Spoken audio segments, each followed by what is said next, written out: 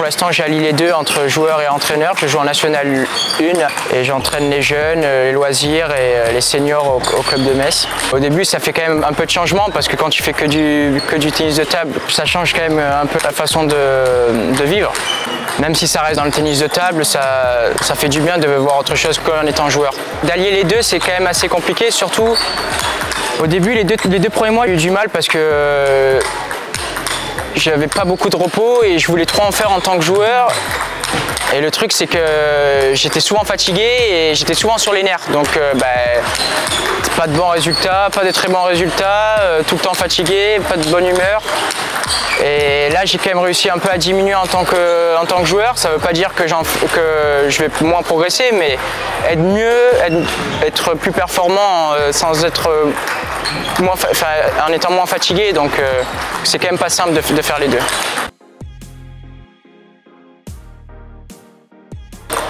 Ouais, il faut être lucide. Après, je vois avec mon directeur sportif et mon entraîneur euh, de tous les jours qu'on arrive à planifier euh, un peu, euh, un peu par rapport aux, échéances, par rapport à tout ça. Donc, oui, il faut être quand même lucide. Je suis venu à l'entraînement parce que je suis passionné par le tennis de table et euh, je ressentais le besoin de faire euh, autre chose à côté pour euh, avoir moins de stress coping, quoi, penser que ça et avoir autre chose à côté. Non, du tout. C'est que je pense que tu peux allier les deux. Ça me, ça me plaît d'entraîner d'autres profils, que ce soit débutant ou après le haut niveau, c'est sûr parce que je suis, ça fait longtemps que je suis dans, je suis dans le, je suis dans ça, donc si j'ai à choisir, je préférerais le haut niveau, mais je pense pour être un très bon entraîneur, il faut commencer au plus bas. Donc entraîner un club et se, former, euh, se former dans un club et tout. Parce que commencer directement au haut niveau, je pense pas que ça soit, le, ça soit par là où je dois commencer, étape par étape. Ouais, j'ai quand même eu des moments difficiles. Je suis tombé malade en juin 2018. J'ai passé des moments euh, compliqués à cette période-là, où j'ai été 4 jours dans le coma artificiel, où j'ai fait un pneumothorax bilatéral. Euh, j'ai mis beaucoup de temps à m'en remettre, psychologiquement, euh, physiquement, ça a mis énormément de temps. Oui, forcément. Tu vois un peu la vie différemment.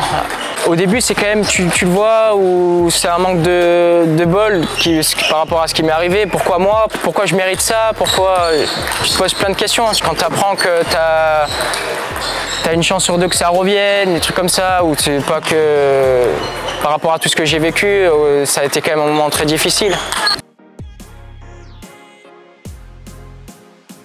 Le groupe vit très bien, on est quand même très unis, on est quand même euh, un groupe de, potes donc c'est cool. Puis bon, on a changé d'entraîneur aussi. Il y a Vincent Moite qui, qui entraîne son entraînement. Il y a Dorian aussi, Dorian Nicole qui euh, nous entraîne aussi, qui entraîne un peu le club et qui entraîne son entraînement. Il y a eu du renouveau aussi, donc euh, ça fait aussi du bien de, changer un peu. C'est comme si finalement on change de, son entraînement. Tu vois, tu vois autre chose, tu vois une autre, une autre façon de s'entraîner. Euh, on a la chance d'avoir l'Allemagne à côté, donc euh, on va aussi en Allemagne. On a la chance aussi de pouvoir s'entraîner euh, de temps en temps. Là, on a réussi à s'entraîner à, Saarbrücken, où il y a des, quand même des très bons joueurs là-bas, et on arrive à pouvoir faire des stages de temps en temps là-bas, donc c'est cool. On, fait des activités, on a le plan d'eau à côté, à côté du, du club. Donc le groupe vit bien et on fait pas mal d'activités ensemble, et donc c'est cool.